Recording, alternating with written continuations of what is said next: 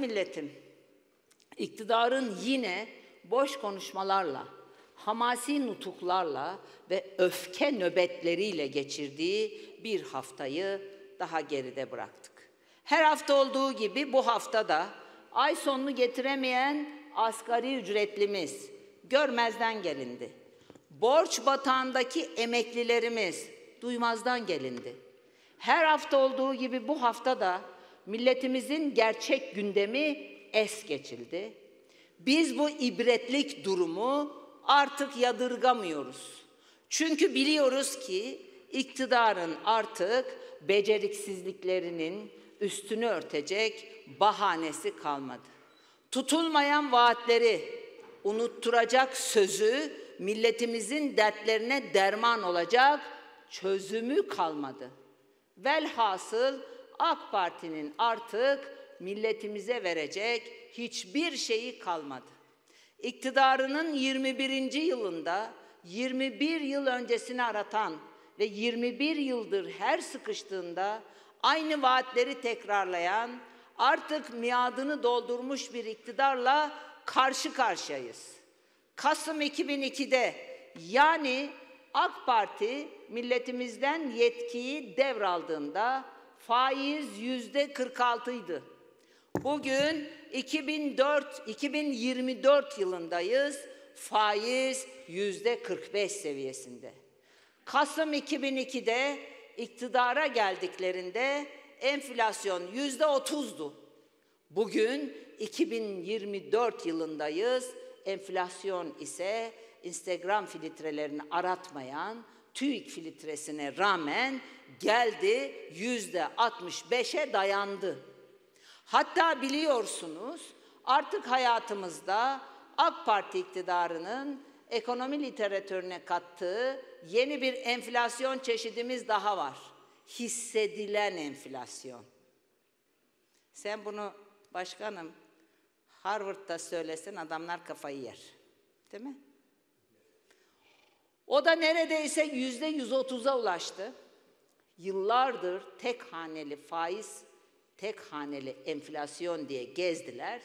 21 yılın sonunda ise başladıkları yerin bile gerisine düştüler.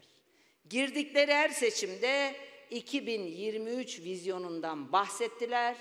2024 yılına geldik ama daha vizyonun V'sine bile ulaşamadılar. İstikrar dediler. Son 5 yılda 6 kez Merkez Bankası Başkanı değiştirdiler. İstikrar dediler. Son 5 yılda 4 kez ekonomi politikası değiştirdiler.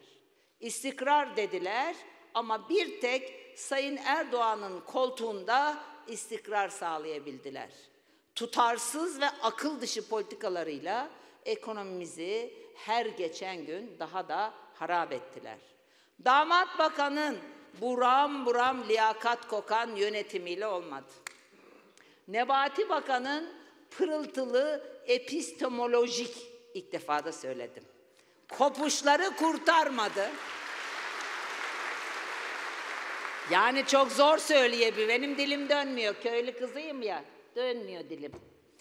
Faiz lobilerine, uluslararası tefecilere el avuç açmak sonuç vermedi. Paramız pul oldu. Milletimizin çektiği çile büyüdükçe büyüdü. Ama Sayın Erdoğan'ın inadı bir türlü durmadı, durulmadı. Baktılar ekonomideki ekonomideki çöküşü engelleyemiyorlar. Bu sefer de 2023 seçimlerinden sonra vitrin değiştirmeye karar verdiler. Vitrin diyorum çünkü ekonomide sadece görünen yüzü değiştirdiler. Vitrin değişti ama ekonomideki büyük yıkıma sebep olan zihniyet değişmedi. Sayın Erdoğan elini ekonomiden çekmedi. Eski Merkez Bankası Başkanı, BDDK Başkanı oldu. TÜİK'in makyajlı rakam ustalarına hiç dokunulmadı. Hal böyle olunca da iktidarın bu girişimi yine başarısızlıkla sonuçlandı. Geldiğimiz noktada ise bizler milletçe daha önce defalarca izlediğimiz aynı vasat filmi bugün yeniden izliyoruz. Yine değişen bir Merkez Bankası başkanımız var. Yine düşmeyen bir enflasyonumuz var. Yine tutmayan hedefler, unutulan sözler, karşılanmayan beklentiler var. Ve tabii ki yine tüm bu beceriksizliğin, basiretsizliğin ve ciddiyetsizliğin yükü sırtına vurulan cefakar Türk milleti var. Değerli dava arkadaşlarım, Diyanet İşleri Başkanlığı bu yıl sadakayı fıtrı 130 lira olarak belirledi. Üstelik bu 130 lirayı da asgari sınır olarak gö gösterdi. Yani en düşüğü 130 lira. Biliyorsunuz fitre bir kişinin günlük normal gıda ihtiyacı demektir. Diyanetin belirlediği rakama göre 4 kişilik bir aile için aylık gıda ihtiyacı 15.600 lira. Bu da aslında Diyanet'in Mart ayı için belirlediği açlık sınırını gösteriyor. Yani fitre üzerinden hesap ettiğimizde bile açlık sınırı en düşük emekli maaşının tam 5600 lira üzerinde. Yani bugün Diyanet işlerine göre bile milyonlarca emeklimiz açlık sınırının altında yaşam mücadelesi veriyor. Yani işine geldiğinde NASA sığınan AK Parti'nin devri iktidarında artık Türkiye'de emeklinin payına fitre bile düşmüyor. Böyle vicdansızlık olur mu?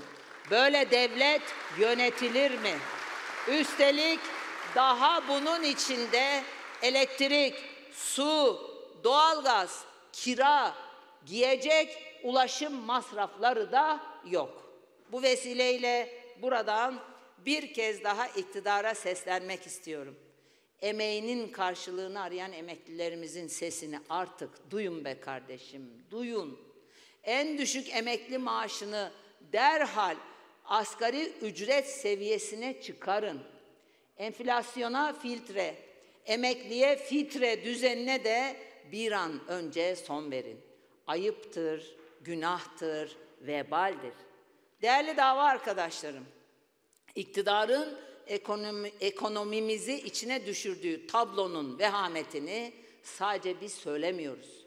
Biliyorsunuz geçtiğimiz hafta Merkez Bankası Başkan Yardımcısı Sayın Cevdet Akçay da enflasyon raporu bilgilendirme toplantısında tam olarak bu vehameti anlattı.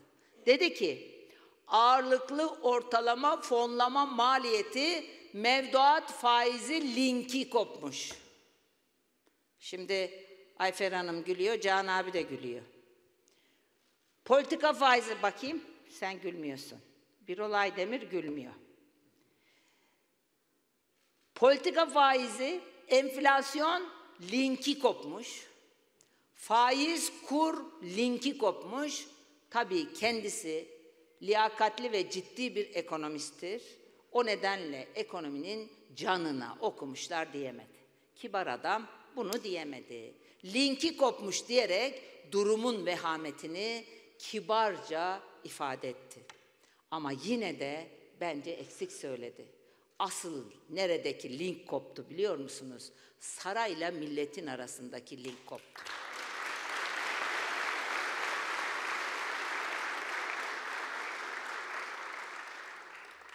Sarayla emeklinin arasındaki link koptu.